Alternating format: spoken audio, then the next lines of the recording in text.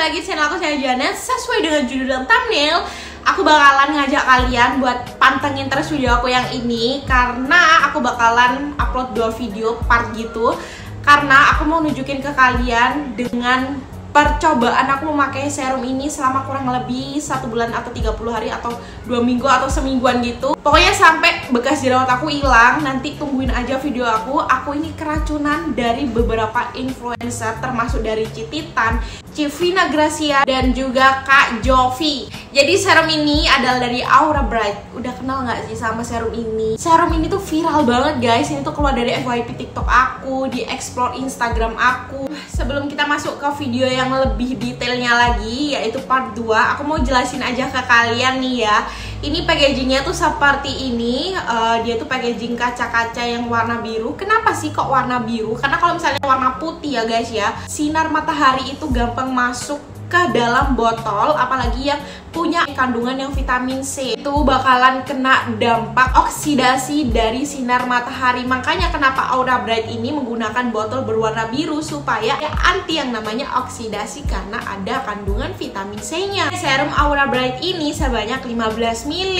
kalau menurut aku ya ini tuh bisa dipakai kurang lebih dua mingguan atau dua mingguan lebih gitu aku kasih review dikit aja ya. Ini tuh teksturnya itu beneran secair itu. Menurut aku ini gampang banget menyerap nanti aku akan kasih tunjuk ke kalian cara pemakaiannya juga. Dan menurut aku wanginya dia wangi-wangi yang menurut aku kalau pribadi uh, dia tidak mengganggu. Tapi ada wanginya tapi aku nggak bisa menyebutkan dan tidak bisa menggambarkan wanginya itu seperti apa. Tapi tetap dia ada wanginya tapi tidak strong yang tidak terlalu mengganggu yang kayak gimana-gimana gitu. Aku jelasin dikit aja ya manfaat dan ingredientsnya. Jadi ingredientsnya itu ada niacinamide yang pastinya itu untuk mencerahkan, melembabkan. Ada galactomyces, fermentylate, ada ascorbic acid atau juga bisa disebut vitamin C Tenang-tenang kalian gak usah khawatir karena serumnya Aura Bright ini udah BPOM halal, no mercury, hidroquinone dan apa pun itu sejenisnya yang berbahaya di sini di serum Aura Bright ini nggak ada sama sekali ya guys. Jadi aman banget. Dan yang pastinya dari teksturnya ini dia tuh aman dan nyaman banget di kulit kita. Formulasinya yang pastinya tuh super duper ringan banget. Nah di part 2 nya nanti aku akan kasih tahu ke kalian kalau misalnya udah nggak pemakaian si Aura Bright si serum ini apakah akan ketergantungan di wajah kita seperti kemerahan, gatal ataupun keluar jerawat gitu ya nanti akan aku kasih tahu oke. Okay? Nah sekarang aku akan kasih tahu ke kalian gimana sih cara pemakaian yang benar by the way ini adalah pertama kali aku memakai si Aura Bright jadi kalian harus ikutin terus di part 2 nah, cara pemakaiannya adalah seperti kalian tuang aja ke wajah kalian dan ratakan lalu diamkan selama beberapa detik dia langsung menyerap nah guys sekarang udah tahu kan bare face aku jadi kalau misalnya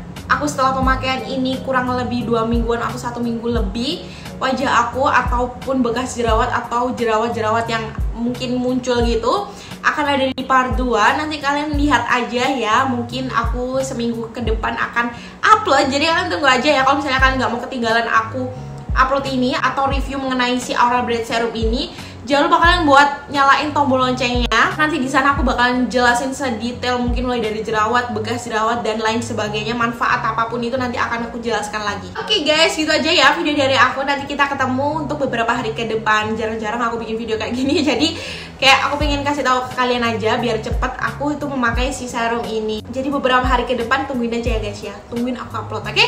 Bye guys, see you next video. Thank you for watching.